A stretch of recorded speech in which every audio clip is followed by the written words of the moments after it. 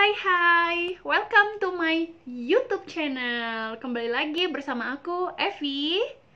Oke guys, eh, jadi kali ini eh, ada beberapa temen yang nanya ya, beberapa question, pertanyaan-pertanyaan buat aku dan harus aku jawab ya guys ya. Jadi pertanyaannya ini ada sekitar, aduh banyak banget nih pertanyaannya guys, banyak pakai bingit. Jadi nanti kira-kira beberapa pertanyaan aja yang aku bisa jawab ya guys ya. Jadi hari ini itu aku nggak nge-review apa-apa, diam di rumah aja guys ya. Jadi hari ini cuman mau ngejawab pertanyaan-pertanyaan teman-teman yang eh, kirim ke Instagram aku. Jadi sekarang aku mau ngejawab satu persatu, oke? Jangan lupa di subscribe dan di like dan di share ke semua teman-teman teman kamu. Oke? Jangan lupa di komen juga. Oke. Aku lepas kacamata ya, guys ya. Eh, jadi pertanyaan yang pertama, eh, Kakak Evi, apakah enak tinggal di Italia? Oke guys, pertanyaan yang bagus banget. jadi yang teman-teman yang belum tahu, jadi aku ini eh, nikah sama bule ya guys, sama bule yang tinggal di Italia. Jadi ada beberapa teman yang udah tahu dan mereka bertanya apakah enak tinggal di Italia atau enggak. Jadi gini guys, eh jadi gini ya teman-teman, ada enaknya, ada enggak enaknya. Jadi eh jadi enaknya itu enak ya tinggal di Eropa gitu ya. Emang emang sih enak Cuman ketika lagi musim dingin itu dingin banget. Ketika musim panas, panas banget guys. Beda sama Indonesia kan musimnya hujan, panas sudah selesai itu doang kan.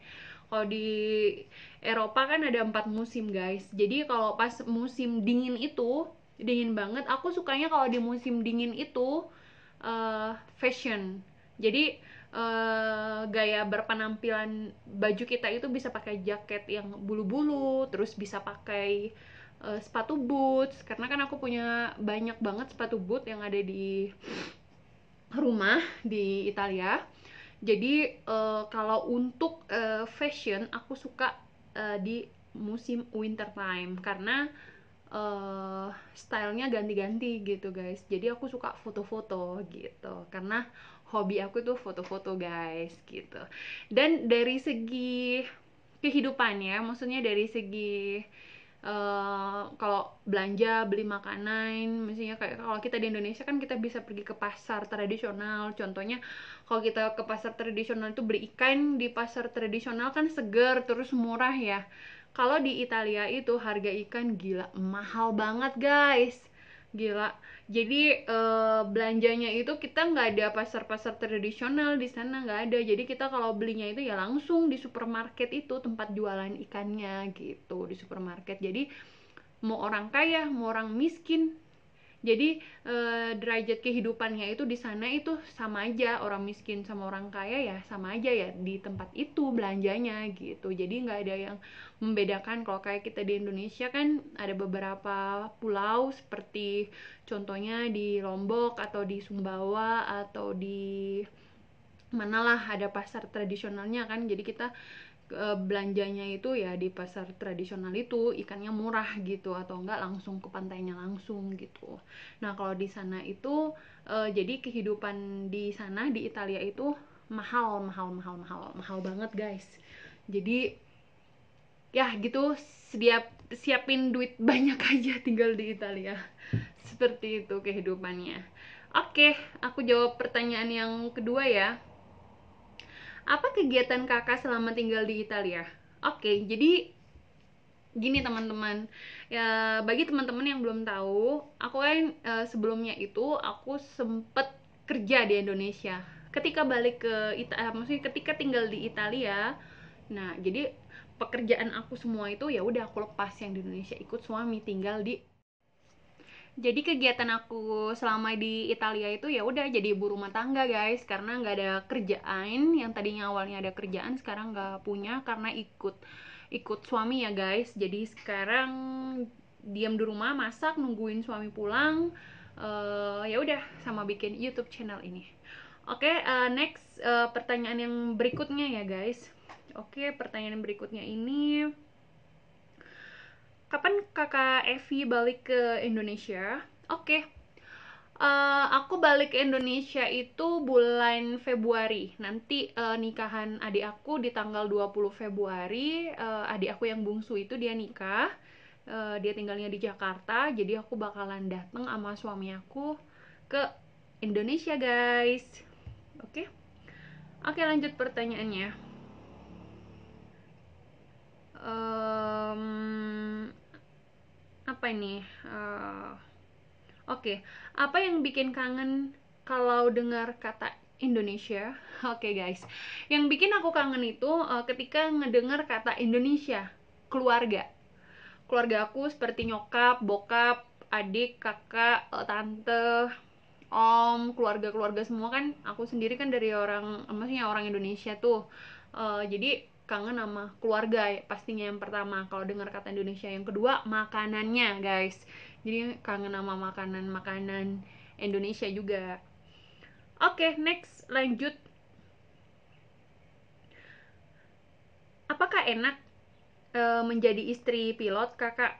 Oke. Okay jadi bagi teman-teman yang belum tahu, aku ini istri pilot, suami aku tuh pilot ya guys. Jadi uh, ada enaknya, ada yang nggak enaknya guys. Kalau enaknya itu bisa keliling-keliling luar negeri seperti benua benua-benua Asia, benua Afrika, benua Eropa. Aku bisa jalan-jalan menggunakan fasilitas istri pilot tadi seperti itu guys jadi uh, kebetulan ada fasilitas istri pilot jadi aku bisa memanfaatkan uh, itu fasilitas yang ada itu itu enaknya guys. Tapi yang tidak enaknya ketika suami saya landing lama ketika nggak dalam schedule nah itu tuh kekhawatirannya itu sangat sangat sangat khawatir banget guys. Takutnya terjadi apa-apa dengan dengan suami saya gitu kan. Kok landingnya telat gitu. Jadi jadi suami suami saya itu ketika ketika dalam dia mau terbang atau sebelum dia terbang satu minggu sebelumnya itu kan dia punya schedule guys. Jadi schedulenya itu kirim ke WhatsApp. Jadi aku tahu dia hari ini terbang ke mana landing jam berapa take off jam berapa seperti itu ya guys ya. Nah jadi ketika landingnya dia tidak sesuai schedule itu itu nggak enaknya khawatir banget guys. Gila khawatir pakai bingits oke uh, terus dalam pertanyaan berikutnya ya guys ya. Dalam satu tahun berapa kali pulang ke Indonesia kak? Oke jadi gini guys. Dalam satu tahun itu nggak nentu sih kemarin itu sempat pulang uh, tiga kali dalam setahun. Kadang-kadang dua kali dalam setahun. Jadi kalau kangen sama orang tua uh, ya udah pulang. Kangen sama keluarga di Indonesia pulang dalam satu tahun bisa tiga kali setahun dua kali seperti itu.